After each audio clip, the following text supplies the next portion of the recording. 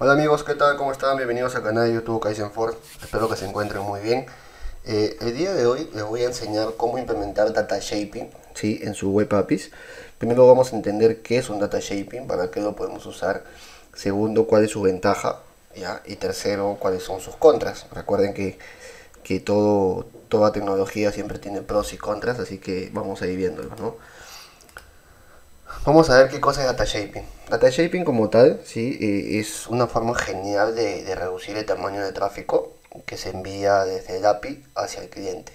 ¿Qué quiere decir esto? Que nosotros eh, le damos la posibilidad al cliente, a quien consuma nuestra API, de especificar explícitamente los campos que necesita de la consulta. ¿Okay? Aquí como en este ejemplo estamos viendo, tenemos un, un objeto product ya imagínense que este objeto product eh, tenga muchas más dependencias con diferentes tablas y eh, en la parte de izquierda, okay, en esta parte de aquí, tenemos nueve campos que mostramos, okay, pero el objeto, el cliente solamente necesita tres, esos tres que están aquí.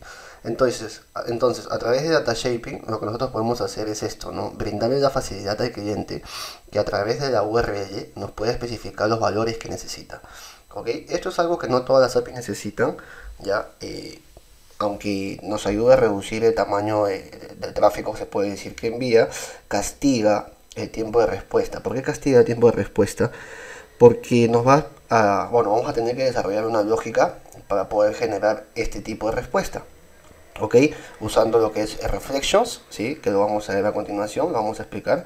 Y usando lo que es también el expand object, ¿sí? Es un objeto dinámico que vamos a ir viendo. Así que bueno, ya vamos directo al código, ¿sí? porque ya es muy fácil. Vamos directo al código. Yo acá les voy a enseñar eh, un código muy sencillo. Eh, si ustedes se dan cuenta, tengo un product control, un product controller. ¿sí? Simplemente estoy obteniendo una lista de productos. Esta es mi entidad eh, productos. y Ahí lo vamos a ver un poquito mejor. Esta es mi entidad productos, los campos que necesito, este es mi producto repository, acá estoy metiéndole 7, 5, perdón, 5 productos, ¿sí? no, mi idea no es ir a base de datos porque no es parte de la demo. La lógica que simplemente sirve como un intermediario para llegar al repository y el controlador, ¿no? Si yo ejecuto esto, ya lo voy a ejecutar, eh, vamos a usar en este caso Postman para que ustedes puedan eh, visualizarlo mejor. Vamos a usar Postman y ustedes lo que van a ver aquí es lo que les indico, ¿no? Ejecuto el API y devuelvo esto aquí. Ahora, supongamos que nuestro cliente no necesita todo esto, si no necesita todos estos campos, solamente necesita tres. Para ello vamos a implementar lo que es Data Shaping de una forma muy sencilla y vamos a ir paso a paso. Si esta es una demo eh, de poco código, lo que voy a hacer aquí ya es, eh, perdón, lo que voy a hacer aquí es este mostrar, vamos a crear una carpeta que se llame helper vamos a poner aquí new folder helper le damos enter y ya creamos la carpeta ¿sí? dentro de la carpeta helper lo que vamos a hacer es generar una clase estática ok y acá si se dan cuenta lo que estoy devolviendo es una lista ya esto acá es simplemente la lista de la llamada al repositorio. Y lo que voy a hacer en helper, voy a crear un método extensivo a un enumerable, ¿ok? Vamos a poner aquí, vamos a crear una clase, vamos a poner enumerable extensions, ¿ok? Le voy a dar añadir. Como no necesito que esta clase se, se, instancie, simplemente lo que quiero es que la, invoquen, vamos a ponerlo como una forma estática, ¿ok? Hasta ahí simplemente hemos creado una clase extensions, ¿ok? Y aquí viene eh, nuestro método, ¿no? Vamos a hacer un método ya el método es lo siguiente vamos a poner public static ¿sí? vamos a poner enumerable ok enumerable y lo que voy a hacer es poner es expando object ok.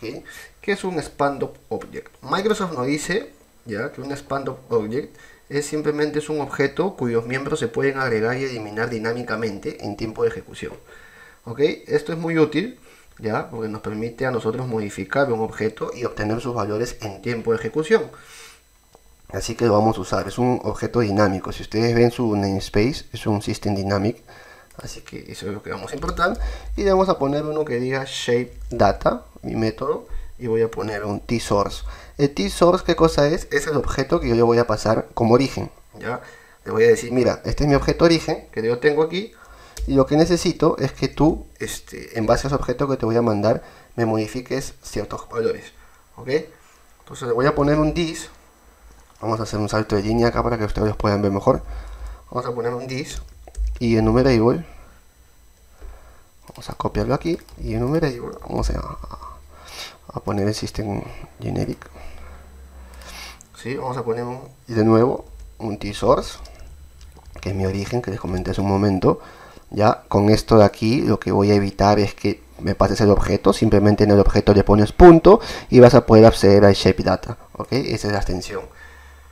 Vamos a poner source y string fields. Qué cosas son o qué es el campo fields es el campo que yo esos son los campos que yo le voy a pasar que necesito de ese objeto ok aquí hay que tener una consideración. Los campos que demandemos tiene que ser exactamente los mismos campos que tiene el objeto. En caso contrario, no va a generar algunos errores. ¿sí? Tiene que ser explícitamente los mismos valores. Entonces, como todo método, vamos a hacer un método un poco defensivo. ¿ya? Quiere decir que nos vamos a cuidar de los nulls. Y voy a poner un if. Le voy a decir, mira, si mi origen es nulo, ¿qué es lo que voy a hacer? Simplemente voy a agregar un argument null exceptions, ¿sí? que me lance la excepción y vamos a hacer esto ¿sí? entonces vamos a siempre validando los objetos que nosotros tenemos de aquí no se preocupen porque no estamos retornando nada ¿sí?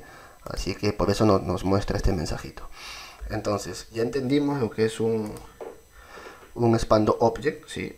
ahora lo que vamos a hacer es generar vamos a crear una lista lo que es un expando object quiere decir que esta lista es el objeto que yo le voy a enviar ya vamos a crear una lista para almacenar los campos que yo necesito. Esto es lo que yo voy a retornar. ¿Ok? Aquí voy a almacenar todos los campos que tú me digas que te quieres que te retorne. Entonces vamos a ver acá, expando object. Vamos a bajar un poquito. Y acá viene lo siguiente. Vamos a irnos a la parte de reflections. ¿Ok? ¿Cómo es la parte de reflections? Lo siguiente. Property info. ¿Ok? Property info. Le voy a dar un puntito ahí. Y acá ven que ustedes dicen system reflections. ¿Ok? Acá viene la pregunta de millón, ¿qué es el reflections? ¿Por qué yo a veces digo, o bueno, por qué dije al inicio que esto castiga el performance? Cuando tú haces el tema de, de reflection, reflection como tal es un mecanismo del lenguaje C ¿ya? que lo que hace es que te permite acceder a las propiedades dinámicas de los objetos en tiempo de ejecución. Pero esto cuesta, ¿ya? Esto cuesta. ¿Por qué cuesta? Porque como les digo, esto lo que va a hacer es irse a las propiedades del objeto que tú estás manejando en memoria y obtener su información, como su tipo, su valor, eso, eh, ese tipo de cosas, ¿no? Y eso castiga, eso va a golpear eh, nuestro, nuestro tiempo de ejecución, ¿ya? Entonces debemos considerar qué APIs necesitan eh, hacer este tipo de, de, lógica y qué APIs no. Particularmente las listas son unas buenas candidatas, las listas de reportes son unas buenas candidatas pero un objeto como tal, o sea, una entidad como tal, no tanto, porque pueden ser unos 10 campos que tranquilamente los puedes enviar al cliente y no te golpea mucho, ¿no? Pero si ya tienes esos 10 campos por una lista de 100 objetos, ya, ya incrementa bastante, ¿no? Entonces, lo que vamos a hacer aquí nosotros es lo siguiente. Así como hemos validado el origen, lo que vamos a validar ahora es el otro parámetro que es fields, ¿ok? Vamos a poner lo siguiente. Le voy a decir, mira, string es nulo white space, ¿sí? tengo que validar que los campos eh, de fields, eh, los valores de fields estén completos en verdad. Le voy a decir, si es eh, fields, si es nulo, o mejor dicho, si es vacío, lo que voy a hacer es retornar todo el objeto. ¿Sí? ¿Cómo voy a retornar todo el objeto? De esta forma. Le voy a decir, mira, de la, del t-source que te estoy mandando, ¿ok? Del origen, de mi caso origen, Cógeme todos los valores públicos y todas sus instancias. ¿Ok? Y todo eso lo que voy a hacer es meterlo en el property info. Esto de aquí, esto de acá, lo que están viendo ustedes. ¿sí? Toda esta parte de aquí le estoy diciendo, mira, de mi objeto que te estoy pasando, como no estoy especificando los campos, quiero que me devuelvas todo. Entonces lo que voy a hacer es, de mi tipo origen, ¿sí? de mi tipo objeto que yo le estoy enviando, coge las propiedades, public y las instancias Y todo eso, añádelo, simplemente lo añades, ¿ok? Hasta ahí no hay ningún trabajo, simplemente en la URL no he especificado qué campos quiero y estoy devolviendo todo el objeto. Pero ¿qué pasa si ahora yo te mando el objeto? Entonces aquí, aquí viene un poco el, el tema, ¿no? Vamos a, modificar esto. Y viene nuestro famosísimo else, ¿ok? Vamos hacia abajo, ponemos aquí, tranquilos. Y acá viene el problema. Como yo le voy a pasar los valores por coma, lo que voy a hacer es poner var, ¿sí? Vamos a ponerle fields fields after split ¿sí? quiere decir que voy a splitear los campos que tú me has mandado voy a poner fields split ¿sí? y voy a poner nuestra famosa coma ok recuerden que los campos que nosotros enviemos en la URL tienen que ser separados por coma ya si nosotros lo mandamos con punto y coma acá tendríamos que especificarlo ok recuerden bien eso porque si no no va a funcionar luego de eso vamos a hacer un famoso for each ¿ya? y voy a decir mira por cada campo que yo tenga en mi colección ¿sí? por cada campo que yo tenga en mi colección te voy a pedir lo siguiente primero que me limpies los espacios ok property name field.trim límpiame los espacios que le hayan mandado. De repente te han mandado un campo con un espacio final y eso también puede afectar porque vas a comparar. Recuerda que vas a comparar el nombre que tú le has mandado con el nombre de la propiedad del objeto. Entonces lo que vas a hacer es limpiar los espacios. Segundo ¿sí? lo que vas a hacer recuerden que en la parte de aquí en la parte superior hicimos esto ya donde cogimos todas las propiedades y en la parte superior lo que vamos a hacer es algo muy parecido. Lo que le voy a decir es, miren, get property name, ¿ya? Pero si ustedes se dan cuenta, a diferencia de este, este de acá no tiene ningún parámetro. Simplemente le estoy diciendo, cógeme todas las propiedades que sean públicas o instancias. A diferencia de este, ¿qué le estoy diciendo? Coge la propiedad donde el, valor, ¿sí? el nombre de la propiedad, sea la name que te voy a pasar, ¿ya? No me importa si son mayúsculas o minúsculas, ¿ok? Quiero que sea público, o instancia. Es exactamente lo mismo, pero acá le estamos pasando estos dos. Estos dos valores que nos van a permitir de la lista de objetos, de propiedades, obtener solamente el campo que coincida. Luego de eso, ¿qué vamos a hacer? Lo siguiente. Vamos a poner un pedacito de código. Vamos a agilizar esto para que ustedes lo vean. Y le voy a decir, mira, la propiedad que te he mandado a buscar, no la has conseguido, no existe. Ok, mándame un exception donde me diga que la propiedad no fue encontrada. Aquí viene el tema que les comenté al inicio. Tiene que ser explícitamente y exactamente igual al campo. Puede variar en mayúsculas y minúsculas, pero tiene que coincidir. ¿sí? Ni un guion intermedio, ni un subguión, nada, tiene que coincidir. Si no, simplemente mandas una alerta, una excepción y le dices, oye, tu propiedad no la encontré. ¿sí? Si la encontré, lo que voy a hacer simplemente es añadir esa propiedad a mi property info list, que es lo que he hecho acá. Ok, hasta ahí no he hecho mucha ciencia, simplemente lo que estoy haciendo es agregar, encontrar los valores que estoy buscando y agregarlos a una lista. Entonces, ¿en dónde devuelvo el objeto? Aquí. Luego de hacer esto, vamos a hacer un for each. De nuevo un for each. ¿sí? Ahora voy a hacer un for each de mi objeto. ¿sí? Le voy a decir, mira, como voy a devolver un enumerable, ok, ya, le voy a decir en el source, ¿cuál es el source aquí? El source es el origen que le he pasado, ya es mi clase que le estoy pasando, yo le voy a decir, mira, el source que te estoy pasando. Tenemos ahí una lista. Recuerden que nosotros cuando mandamos a, hacer este método, mandamos una lista, ¿sí? Vamos a mandar un enumerable y yo tengo que pasar uno por uno. Por eso esto es lo que estoy haciendo acá, recorrer uno por uno eh, los objetos de la lista que quiero retornar, ¿ya? Y aquí viene nuestro famoso expando object, ¿ok? Voy a crear un campito que diga data shape object, ¿sí? Porque acá voy a generar mi objeto con las propiedades en tiempo de ejecución y lo que voy a hacer es lo siguiente, vamos a poner un for each. Ok, vamos a poner un property info, property info. ¿ya? ¿Y en dónde está mi property info? ¿Dónde está mi lista de propiedades en property info list? Lo voy a poner aquí. Y luego voy a poner lo siguiente. Aquí, bar, property value, ¿sí? property value es igual a mi property info, esto de aquí, punto get value, ok, source object, perdón, acá vamos a poner source object. ¿Qué es lo que estoy haciendo? De la lista de valores que tiene el enumerable, estoy obteniendo el valor para esa propiedad. ¿Ok? Y una vez que lo tenga, ya añadimos ese valor a nuestro expand object. De esta forma, ¿sí? Tenemos una propiedad, es un diccionario, donde tenemos un string y un object, y le voy a decir, mira, añádeme esta propiedad. Este es mi nombre, este es lo que quiero que añadas, el campo, y este es su valor que quiero mostrar. ¿Ok?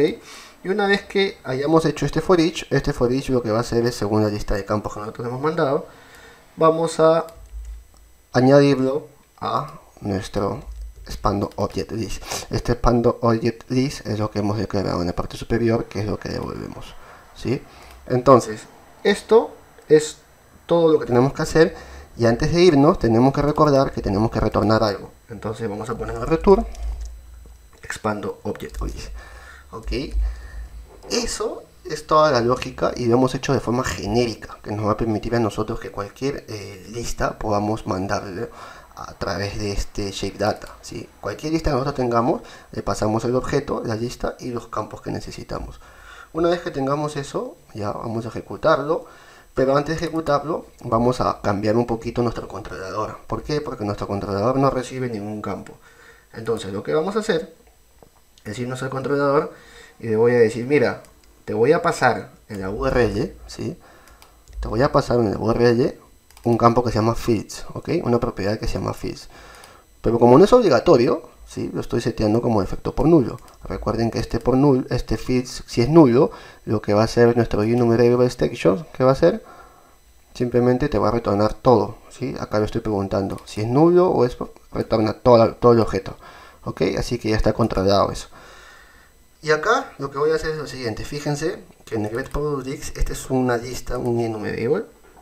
Voy a poner punto y ya me va a aparecer a mí mi extensión que acabo de crear, shape data. ¿ok? Este shape data es lo que yo acabo de crear y simplemente le voy a pasar fields. ¿ok? Ahí esto funciona, que es lo que me está faltando, cerrar el paréntesis del OK y ejecuto esto. Entonces, una vez que yo ejecuto esto, me voy a mi Postman. Este es mi Postman.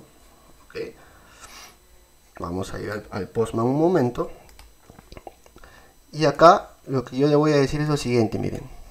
Por ejemplo, este es mi API ya con, con productos, ¿ok? Yo le voy a decir, acá si yo le envío, me retorna todo de nuevo. Pero yo le voy a decir, mira, ¿sabes qué? Ahora quiero que me devuelvas en fields, quiero que me devuelvas el name el precio y el company fabric. ¿ok? Solamente quiero esos tres. Lo ejecuto y ya lo devuelve. De una forma muy sencilla hemos hecho un shape data. Dos cosas que agregar aquí. La primera, a consideración, es que bueno, este es un método genérico que lo pueden implementar para cualquiera de sus listas, de sus APIs. ¿ok? La segunda, que sopesemos un poco. Si necesitamos esto, ¿Ya? ¿Por qué? Porque esto, si bien es cierto, te da la facilidad de especificar qué campos quieres para tu API y te ayuda a, reducir el tráfico que tú envías del API hacia el cliente, te genera un costo extra en tu aplicación, en tu procesamiento. Aquí lo podemos ver sencillo porque es, un objeto simple, pero recordemos que si tenemos eh, más de 2, 3, 4 tablas eh, entre ellas, ya eh, nos va a costar mucho más. Así que este código igual va a estar en, en, GitHub, en nuestro repositorio. ¿ya? Ahí ustedes recuerden que, que, ya tienen todo el video, ustedes ahí pueden, tienen el código, tienen toda la parte de la demo, ¿ya? Así que bueno, no se olviden suscribir al canal, cualquier cosa me pueden mandar un correo a través de jorgasí.com, está mi, mi, enlace para un correo. ¿Ya? Y le dejo el enlace de descarga del código también en la descripción del video y si quieren apoyar al, canal vía PayPal, eh, también es bienvenido. ¿no? Les dejo un fuerte abrazo y muchas bendiciones.